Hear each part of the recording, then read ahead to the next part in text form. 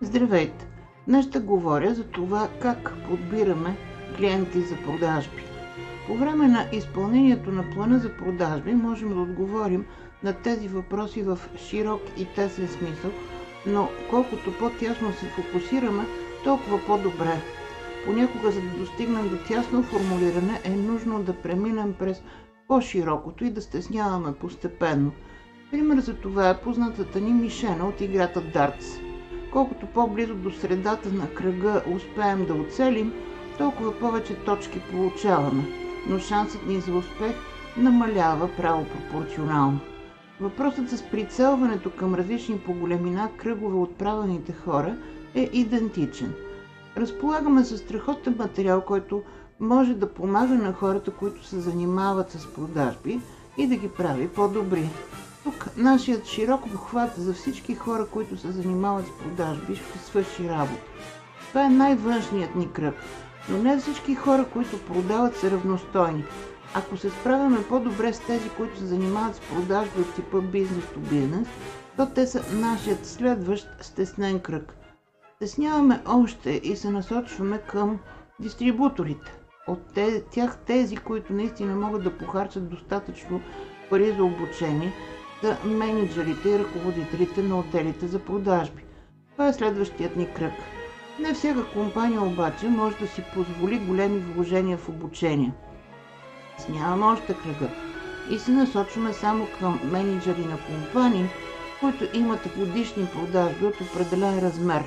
Можем да продължим да стесняваме кръга, докато достигнем до списък с точно определени индивиди или дори до един индивид – за някои продажбени ситуации това е добра идея, а за други не. Това е несъответствие на нашата дефиниция за правилните клиенти или центърът за мишлената, това е което трябва да изследваме. Бизнесът може да тръгне и да се развива в всякакви посоки. Пазарът се променя, натрупва се опит и преразглеждането на начинанието всяка година би дало ясна представа за градацията или деградацията в началния замисъл.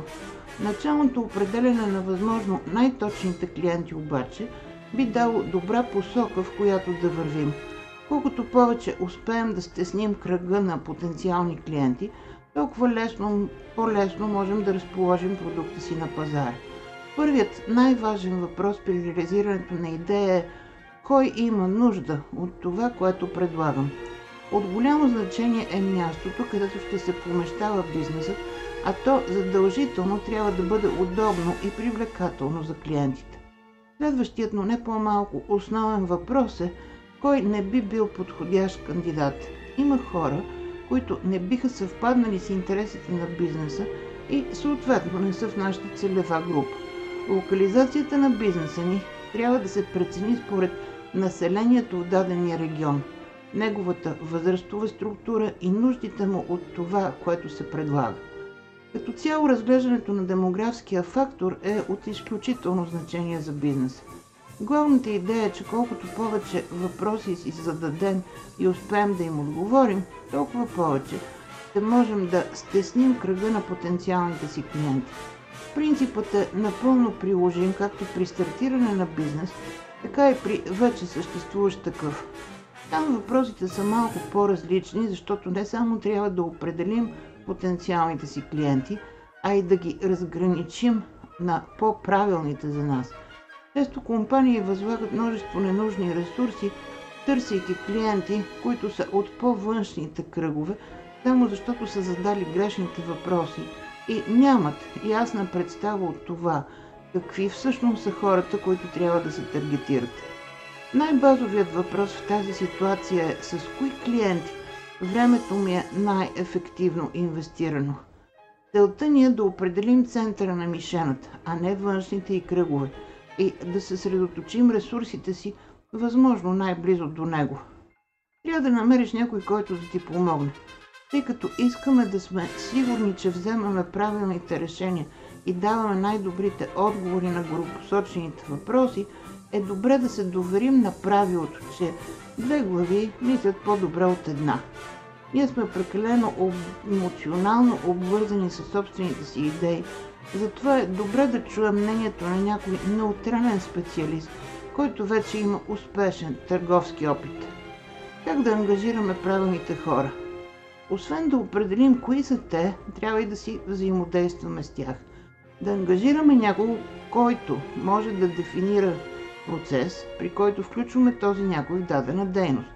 Това е добро начало за нашия бизнес. Преди хората да си купят от нас, те трябва да си взаимодействат по някакъв начин с нас.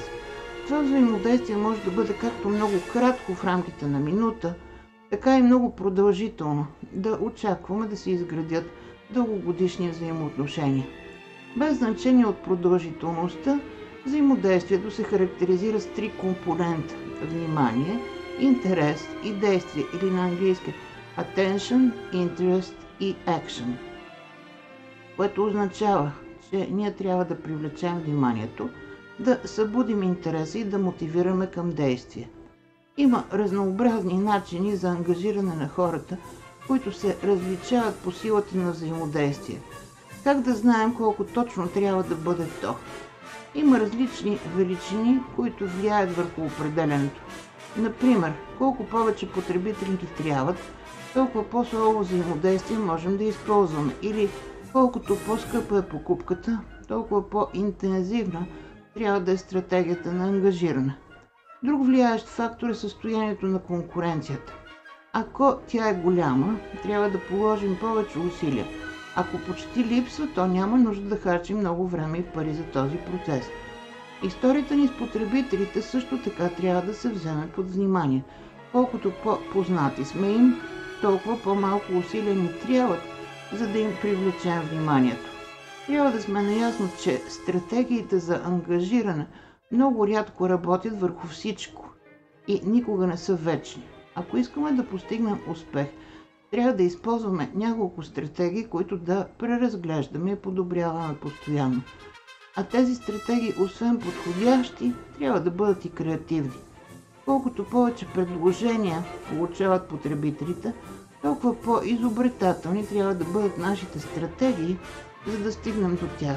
Най-лесният начин за привличане на вниманието са местоположението, табелите и външния вид. Ако те не са достатъчни, тогава ни трябва реклама. Но обикновената реклама вече е изтъркана и не е много силен метод на взаимодействие. По-ефективни са разговорите. Телефон е по-ефективен от изпращането на почтенска картичка. Най-добрият начин е лична среща, но нека не пренебрегваме интернет. Присъствието ни е важно и показва колко държим на потенциалния клиент. Важни въпроси, на които трябва да можем да си отговорим са колко на брой потенциални клиенти трябва да привлечем и колко често трябва да привличаме нови. Какъв и колко ресурс ще трябва да вложим в изпълнение на задачите Например, колко пари, връзки, партньорства. Можем ли да идентифицираме подходящите за нас хора, да открием къде са и да достигнем до тях с правилната комуникация? Въпроси от нас, относно нашия продукт са каква полза ще донесе на потенциалните ни клиенти, има ли с какво да привлече интереси им, кои са предимствата ни и как ще ги убедим, че трябва да ни станат клиенти. След като сме си отговорили на тези въпроси, е време да помислим какъв е най-ефективният начин за привличане на количеството потенциални клиенти, необходимо ни, за да бъдем успешни при съществуващия пазар. Послания, възможности. Трябва обаче да имаме предвид, че това решение може да е оптимално за кратко време, тъй като пазарът непрекъснато се променя. За да можем да измерим работи ли нашата стратегия за привличане на потребители, са ни необходими два показателя. Броят на хората, чието интерес сме предизвикали и евентуално подтикнали към извършване на действие покупка и колко ни струва, каква е стоеността на тези наши усилия. Първият наричаме ефективност, а вторият ефикасност. Възможни са няколко комбинации между двата показателя. Например, Нашето усилие може да е ефективно, но не ефикасно. Решението е да намалим разходите. Може да е ефективно и ефикасно. Стратегията ни е добра, но след няколко месеца трябва да измерим пак. Не е ефективно, но ефикасно. Тогава трябва да потърсим нов подход. Не е ефективно и не е ефикасно. В този случай Стратегията трябва да бъде тотално преосмислена и дори да си зададем въпроса дали изобщо трябва да се занимаваме с този бизнес. И още едно важно правило за успешен бизнес. Всяка седмица или всеки месец измервайте резултатите и усъвършенствайте методите си. Осъзнайте, че никога няма да сте перфектни и винаги ще има какво да подобрявате. Как да съберем нужната ни информация за съставянето на списък с потенциални клиенти? Маркетинговите изследователи разграничават три подхода за събиране на информация, които се различават по цена и стоеност. Най-скъпият подход е наблюдението, след което следва събирането на първична и накрая събирането на вторична информация най-ефтино. Вторичната информация включва данни, които са предварително събрани с друга цел. Те могат да се вземат от различни правителствени публикации, енциклопедии, периодични издания и интернет, компании, които се занимават с проучвания на пазара. До събирането на първична информация се прибягва когато не съществуват вторични данни или те вече са устарели, неточни, непълни, не съответстват на нашата задача. Методите за събиране на първична информация са интервю, проучване на група, анкетиране по почтата или по интернет, по телефона и дори експериментално проучване. За да си изградим ясна представа относно тенденциите на пазара, е необходимо да разгледаме и да имаме предвид 6 категории. Демографски. Това са тенденциите във връзка с растежа или намаляването на броя на хората в различни демографски групи, които са базирани на възраст, доходи, пол, образование и други. Тези данни са сравнително стабилни и предсказуеми. Социално-културните фактори това са тенденции относно намаляването или увеличаването на броя на хората по отношение на техния начин на живот – който се проявява в техните дейности, интереси и мнения. Хора с еднакъв доход могат да имат напълно различен начин на живот. Економическите фактори това са тенденциите в промяната на нивото на доходите, економически растеж, лихвите и други. Населението само по себе си не прави пазар. Хората трябва да притежават готовност, желание и способност да купуват. Технологичните фактори това са тенденциите в нарастване на скоростта на появата на нови технологии. Регулаторните тенденции са промените в законите и правителствените политики. Природните тенденции, глобалното затопляне, намаляването на природните ресурси и други фактори също трябва да се отчитат. Пет Попкорн описва 10 тенденции в стила на живот, които биха могли да ни помогнат да определим къде точно да търсим нашите потенциални клиенти – Кешинг аут, това са хората, които заменят забързаното градско ежедневие и успешните си кариери с по-спокоен живот в малки населени места. Какъв вида? Това са хората, които превръщат дома си в крепост и се затварят в него в отговор на нарастващата престъпност и несигурност. Отмладяване това е групата на хората, които се чувстват и се държат като по-млади, отколкото са – те си купуват играчки за възрастни, ходят на лагери за възрастни и прекарват авантюристични вакансии. Егономия, това са хората, които се опитват да се индивидуализират чрез опита и вещите си. Те създават конкурентна пазарна възможност за предлагането на стоки, услуги и доли преживяване по поръчка. Забава и приключения към тази група принадлежат хората, които олицетворяват нарастващата нужда за емоционално бягство от рутината и за нея се създават нови и оригинални продукти и услуги, които да променят, подменят традиционните. Хората на живота, това са тези, които се опитват да се справят с много роли едновременно и за тях се предлагат продукти и услуги, пестящи време. Спасете обществото ни, това е групата, която се стреми към по-голяма социална отговорност, търси морал, общество и околна среда. Групата на дребните глезотейки има връзка с емоционалната терапия, при която се предлагат дребни удоволствия. Да останем живи, това са хората, които изпитват нужда да върват по-дълъг и по-добър живот, което способства за въвеждането на природосъобразни продукти и услуги. Нравственият потребител.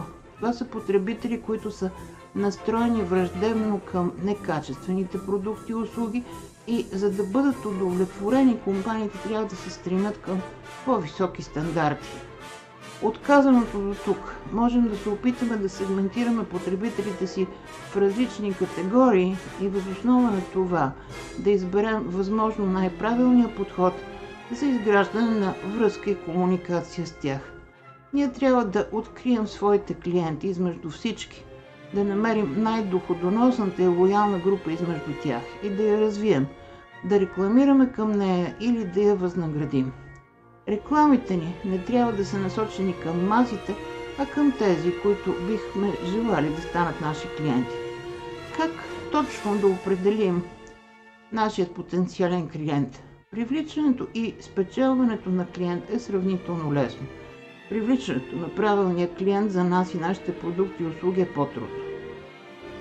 А целта на всяка компания е именно възможно най-точно да определи кой е най-правилният клиент – Трите решения сегментиране на пазара, избор на целеви пазар и позициониране на продукта са тясно свързани помежду си и имат силна взаимна зависимост. Всяко едно от тях е зависимо от предишното и колкото по-добър резултат дава всяка една част, толкова по-голям е шансът за успех на цялата верига. Сегментирането на пазара е по-възможно от най-изчерпателния начин да помогне в избора на най-подходящия клиент за организацията. Целта е дефинирането на окото на бика, най-тесният кръг от потенциални клиенти. Това се постига чрез задаване на три основни въпроса. Кой се нуждае най-много от това, което предлагам? Кой най-вероятно ще даде пари за него? Кои са най-съвместимите мои идеи, негови идеи и идеи на компанията? Отговорите на тези въпроси ще ни да помогнат да се фокусираме върху правилните таргет групи, ще стимулират продажбите ни и ще улеснят позиционирането. Ще се изберат сегменти, за които фирмата може да разработи специален маркетингов микс, удовлетворяващ потребностите по-добре от конкурентите. Колкото повече стесняваме кръга от потенциални клиенти, толкова по-лесно ще можем да позиционираме продукта си в съзнанието им. За това трябва да използваме цялата събрана налична информация и да се пробваме да си зададем и съответно отговорим на колкото се може повече въпроси, свързани с нашите потенциални клиенти. Да определим кой би искал да бъде такъв и кой не и да използваме правилно ресурсите в определена посока. Как да сме сигурни в правилността на сегментирането? Има няколко необходими условия в процеса на сегментиране. Използване на количествено измерими величини, валидност на приятите величини в продължителен период от време, обособяване на границите на сегментите по начин позволяващ влияние върху потребителското поведение, възможност за извършване на индивидуален сегментен анализ, оценяване на връзката между полезност на продукта и търсенето му. Съвременният подход – се базира на търсене на потребители с сходни, ясно изразени нужди и предпочитания. След това продуктите и маркетинговата програма се нагласяват към конкретните желания и особеностите на всеки сегмент. Не всички сегменти естествено са еднакво привлекателни за фирмата и съответно на първо място трябва да се обърне внимание именно на споменатото око на бика, защото това са клиентите, които ще бъдат от най-голяма полза за компанията. И така, скъпи мои приятели, в моя канал Дневниците на професор Навяна Кръстева аз правя съдържание за маркетинг, за нещата от живота, интервюта си интересни личности всеки ден.